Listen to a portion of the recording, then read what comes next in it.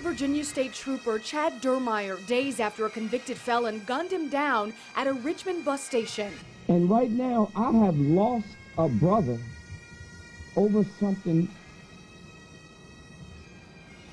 that I consider evil. A community honors the fallen trooper and prepares to lay him to rest.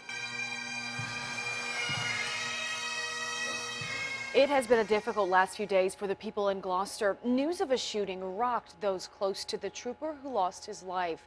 And that's why people continue to stand together side by side for the family of 37-year-old Chad Dermyer. 10 on your side's Matt Gregory is live now in the Wavy Live Center with what the community is doing to remember the fallen state trooper. Matt? Brandy, tonight's vigil brought the law enforcement community and the people of Gloucester together to mourn one of their own collectively, as much a remembrance of Trooper Chad Dermyer as a way for both sides of his life to support each other.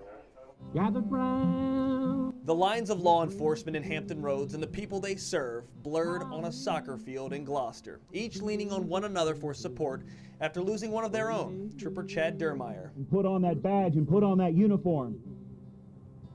They're making a conscious decision and a commitment to lay down their life for their friends and their family and their loved ones. Remembered by the officers he worked alongside, they and their family stood off to the side protecting Dermyer's family. He was just always a wonderful guy. He was a Christian.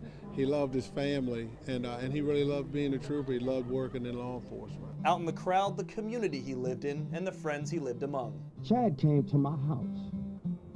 He knocked on my door and he just sat and talked to me. Like, hey, what's going on, man? I said, Chad, I had a rough situation, man.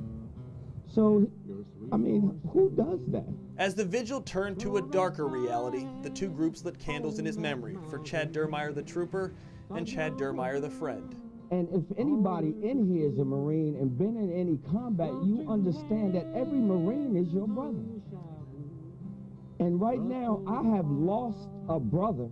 While the vigil drew to a close, the reality of what the officers do every day comes into context. It's not just a job, it's beyond a job, it's a calling.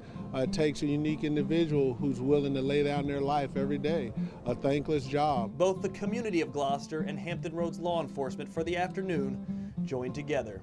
The men and the women that make that sacrifice will never be forgotten. Two groups finding support in one another. I spoke with an organizer about why the vigil took place on a soccer field.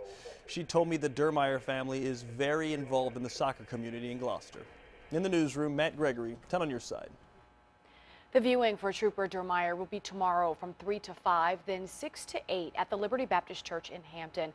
The funeral is set for Tuesday at Liberty Baptist at 11 in the morning.